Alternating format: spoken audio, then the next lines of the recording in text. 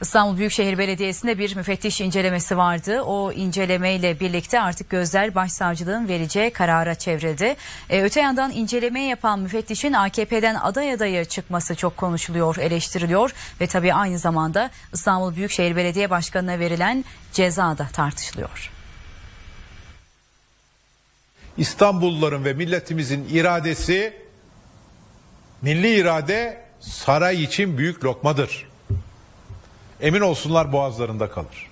Bir yanda İstanbul Büyükşehir Belediye Başkanı Ekrem İmamoğlu'na hapis cezası ve siyasi yasak, bir yanda İBB'yi müfettiş soruşturması. Savcılık incelemesi henüz sonuçlanmadı ama incelemeyi yapan müfettişin AKP'li olduğu ortaya çıktı. Belediye başkanımız Ekrem İmamoğlu görevinin başındadır. 16 milyon İstanbulluya hizmete devam edecektir. İçişleri Bakanlığı'nın raporu tamamlandı. Cumhuriyet Başsavcılığına gönderildi. Rapor İstanbul Büyükşehir Belediyesi'nde işe alımlara yönelik incelemelerden oluşuyor. 25.361 kişiden 15.125 kişi hakkında belediye tarafından hiçbir güvenlik soruşturması ve arşiv araştırması talebinde bulunulmamıştır. Kardeşim ortalıkta terörist geziyorsa sen İçişleri Bakanı değil misin? Polislerin yok mu? Elini kolunu sallıyorsa sen bu teröristleri nasıl serbest bırakıyorsun o zaman? Sayılar sürekli değişti ama İçişleri Bakanı Süleyman Soylu İBB'de terörle irtibatlı ve iltisaklı çalışanların olduğu iddiasından vazgeçmedi.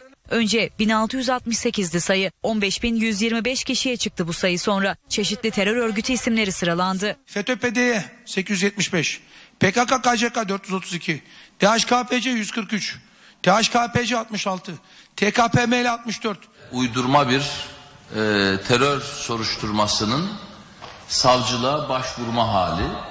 Bakanlığın hazırladığı rapor İstanbul Cumhuriyet Başsavcılığı bürosuna verildi. Bundan sonra gözler başsavcılıkta ya soruşturmaya gerek yok diyerek dosyayı kapatacak ya da suç unsurları olduğu kanaatiyle iddianame hazırlanacak. Hukuki süreç savcılığın incelemesinin ardından belli olacak. Müfettişler görevlendirdi. Gitti mi müfettişler? Baktılar bir şey yok. Ne yapsın? Bir şey yok. Onları çağırdı. Gelin Ankara'ya beyler sizden bir adam olmaz dediler. Siz iş yapmadınız dediler. Sonra AK Parti'den milletvekili adayı olan birisini görevlendirdiler. O da müfettiş. Sözde müfettiş.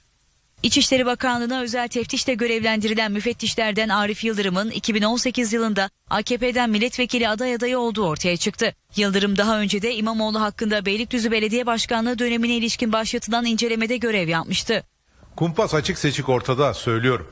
Yani bu, bu yorum gerektirmeyen bir husus. Öyle anlaşılıyor ki aramış taramışlar bu bu soruşturmayı yapacak bir müfettişi bulmuşlar. Vatandaşımızın vicdanında e, bu karar bir mahkeme kararı değildir. Vatandaşımızın vicdanında bu karar siyasi bir karardır. Siyasi baskıyla yapılmış, e, verilmiş bir karardır. İBB için savcının kararı beklenirken İstanbul Büyükşehir Belediye Başkanı İmamoğlu hakkında verilen hapis ve siyasi yasak kararı var. İmamoğlu mahkeme kararı üzerinden iktidara yüklendi. Hala konuşan hükümet yetkilileri top çevirmektedir. Bıraksınlar top çevirmeyi. Bu konuda iradelerini ortaya koysunlar. Madem mertçe bir mücadeleye hazırlar, desinler ki bu yanlış bir karardır kardeşim. Böyle karar mı olur? İstinafta bu kesinlikle dönmeli desinler. İyi Parti lideri Meral Akşener'e de soruldu İmamoğlu hakkındaki mahkeme kararı. Millet iradesi sandıkta kırar. Bu karar şu anda Sayın Erdoğan'ın kararı. Çünkü e, İstanbul bakın seç bu bir seçim gündemi. Seçime giderken e, muhtemelen İstanbul'a çökme kararı. Saraçhane'deki buluşmaya da değindi Akşener. Kendi seçtirdiğimiz belediye başkanı için kimden izin alacağım? Öyle bir durumumuz yok. CHP'nin liste yani CHP üyesi olarak seçilebilirler. Ama onların sorumluluğu hepimize ait.